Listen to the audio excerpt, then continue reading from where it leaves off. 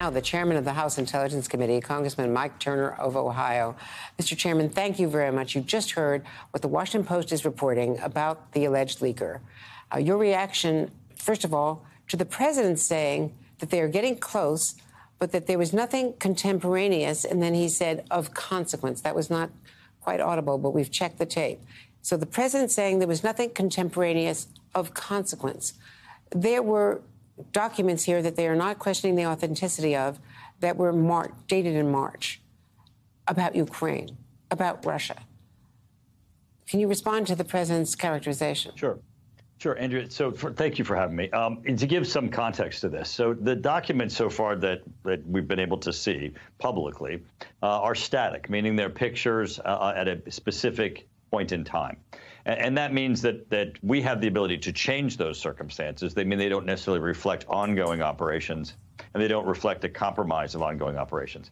They certainly give, as the Department of Defense has said yesterday in its briefing, an opportunity to mitigate any damage that has occurred as a result of these. But as, as you just reported from the Washington Post story and from the audio of the interview that, that you played, you know, this is certainly chilling because we're going to get this individual. Uh, this is a crime. This is espionage. Um, and, and this involves real people. I mean, this can hurt real people, and, and real people uh, could, could be killed and, and lose their lives over leaks of classified information. To make this all the way down to where it seems almost like a game to these individuals is certainly very chilling. Now, apparently, there were many people in this chat room, including foreign people who might have been exploiting it for purposes, even before it was made public, where we could mitigate. So there are foreign actors who could very well have been involved in this, including from Russia. Right, absolutely. This is this is very dangerous. And you know, I can tell you around the world every day there are people who at great sacrifice go to work and handle classified documents and information that keep our country and our allies safe. When you hear stories like this of, of someone who's doing this for aggrandizement for the purposes of promoting themselves, especially with just um, you know, kids and, un, un, and are looking this almost as a game itself. It, it, certainly raises the, the specter of the question of, you know, what do we need to do to make certain that our classified information is held more closely? How do we find these people um, before they, they do this, before classified documents are compromised? And then, of course, um, you know, the hunt as we are now on and finding this individual, bringing them to justice for the crimes they've committed in many of these photos in the past, we know that there have been invisible markings and tracing markings. Do we know if we have that in this case and that we can track this down and, and close in on which military base, which person?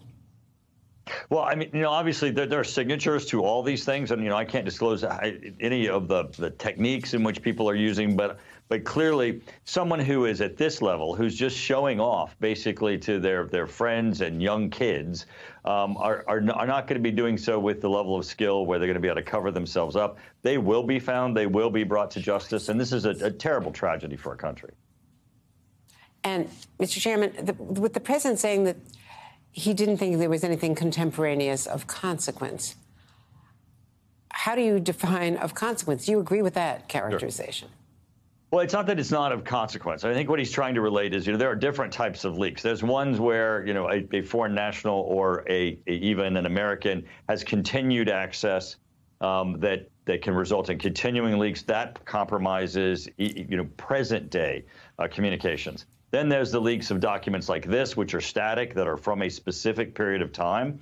Uh, and they certainly give us the opportunity to mitigate those damages. We become aware that those documents are out. But more than anything, uh, this is, you know, these individuals need to be brought to justice, and this leak needs to be stopped so we can continue to protect Americans and protect our allies.